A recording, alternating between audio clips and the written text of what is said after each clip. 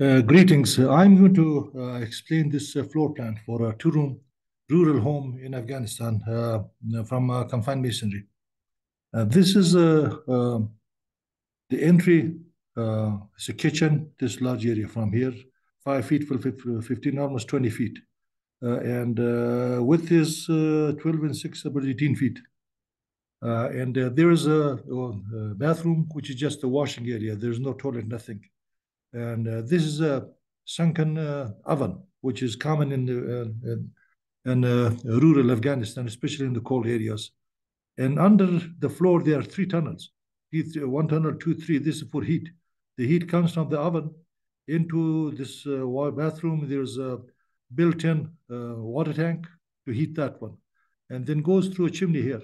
And so all the heat has been used. It heats up this area, so it's heat tunnels with the two-inch thick stone slates. The stone slates uh, absorb the heat and then slowly releases to the uh, uh, to the surface above. The same thing goes on this side.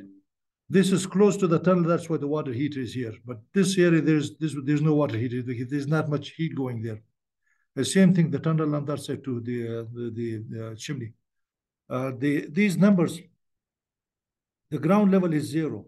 There's one step plus seven inches, which is for IBC International Building Code. And then the next uh, will be the actual porch. It's a covered porch. There's a column here which is uh, forgot to to hatch it. This will be 14, so 7 and 7 and 14. Another step 21, and another step 28, which is 7, 7, 7, 7. 4, 7 is 28. This is finished floor of the house is uh, 28, uh, 28 inches above grade. And then uh, here, the entry here again, 7 inch, 14 inch. This is 21 inch. Uh, this is one step below the, the guest room. And there's another step here. This one is makes it 28 and 28. The oven is, the bottom of the oven is zero. That's at the ground level. And then this is about 28 inch deep. Here, there's a, there's a pit for, uh, for uh, firewood and also for air, uh, air um, uh, ventilation for the intake air at the bottom of the oven. And this is 27, this is 28, this will be uh, 7 inch below that's 14, 7, 0. So this pit is the same level as the oven.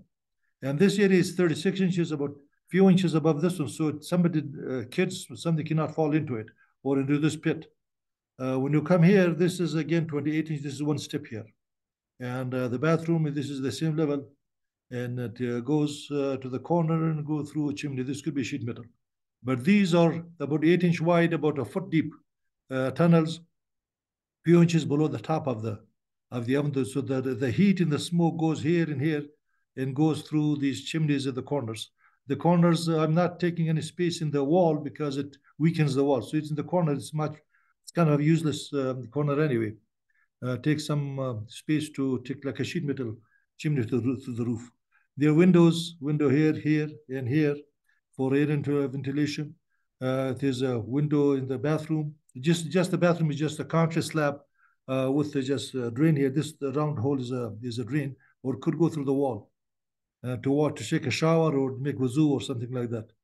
And uh, same thing here. So this is uh, basically the layout of a house. Let me show you the elevation. This is the elevation. These are confined masonry.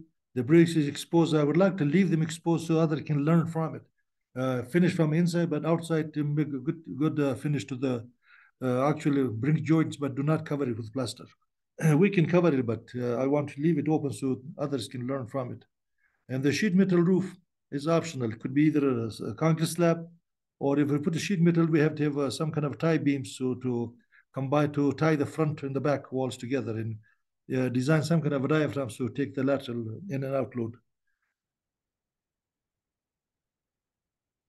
And this is the right uh, elevation. Uh, this is the front elevation, or uh, the rear elevation. The front elevation is above.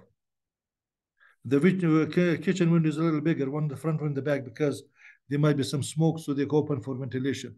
Actually, I've seen these with, uh, we had it our own home when I was a child. Uh, it worked perfectly. There was no smoke, nothing. Uh, and uh, this is the lift view. That's about it.